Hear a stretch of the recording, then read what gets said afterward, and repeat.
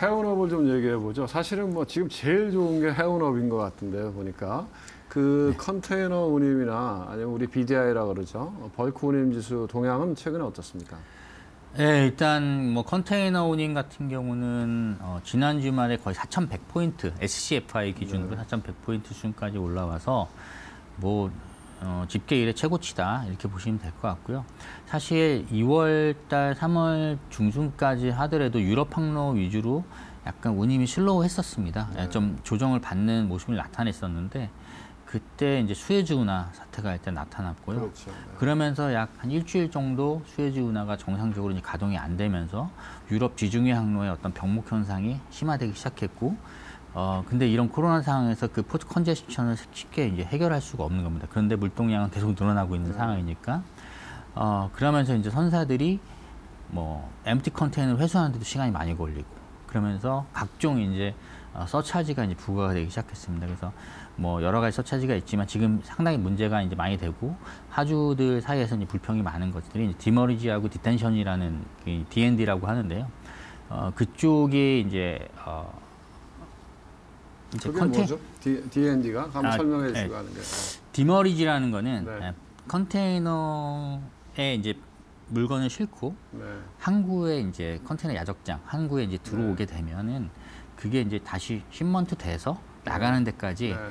어, 기한이 공짜로 그 보관될 수 있는 기한이 있는 겁니다. 네. 한 2, 3일 정도 있다가 실려야 네, 네. 되는데 네.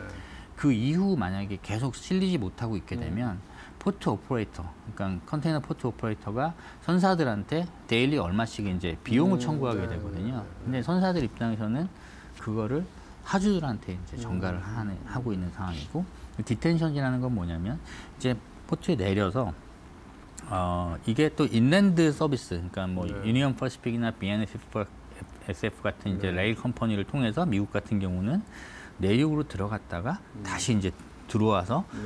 실려서 이제 와야 되는데 이게 돌아오는 데까지 음. 어뭐 free로 며칠 이렇게 주어지고 그러니까 이제 bottleneck이 걸려서 물류에. bottleneck이 걸려 있는데 그 비용을 누가 부담하느냐 이런 그렇죠. 이슈네요. 네. 추가적으로 비- 그 컨테이너 박스가 네, 뭐 네.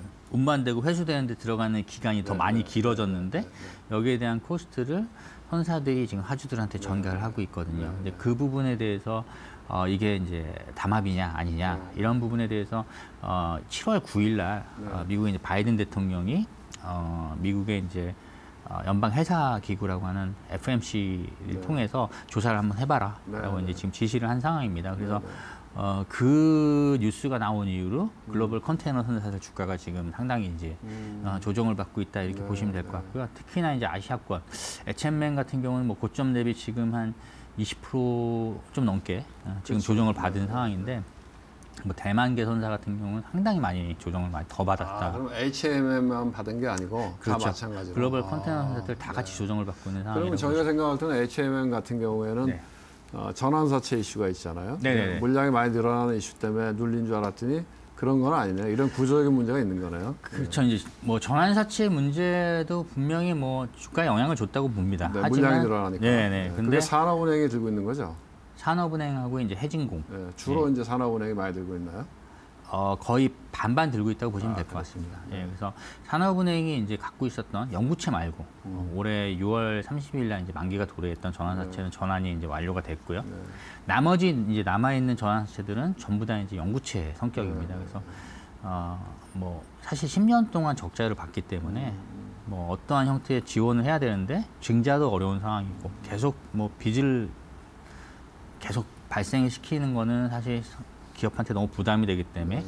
연구체 형태로 이제 많이 지원을 했습니다. 3조 2천억 정도 수준이 지원이 됐던 거고 그런 부분들이 지금 남아 있는데 네.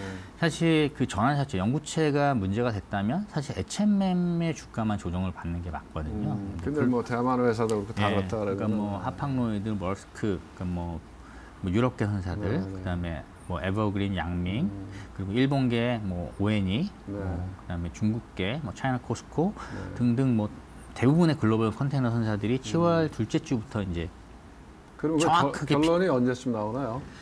아 글쎄요 이게 어 H&M 같은 경우는 이제 8월까지 네. 관련된 데이터하고 서를 이제 제공하게 돼 있는 네. 상황이고요. 어 근데 사실 이게 어, 담합이라고 보기 상당히 어려운 게 포트마다 뒷머리지하고 딥텐션에 대한 부과 기준이 다 다르고 네. 선사들마다 하주들에 부과하는 것도 데일리 얼마씩 부과하는 것도 다 다릅니다. 예, 다 다르고 작년 대비 올해 어, 그 부분을 인상한 선사들이 네. 있고 또 HMN 같은 게 인상하지 않았어요. 네. 근데 뭐, 뭐 대부분의 유럽계 선사들하고 어, 일본계 선사 그리고 뭐 대만계 선사들 같은 경우는 많이 인상을 했거든요. 네.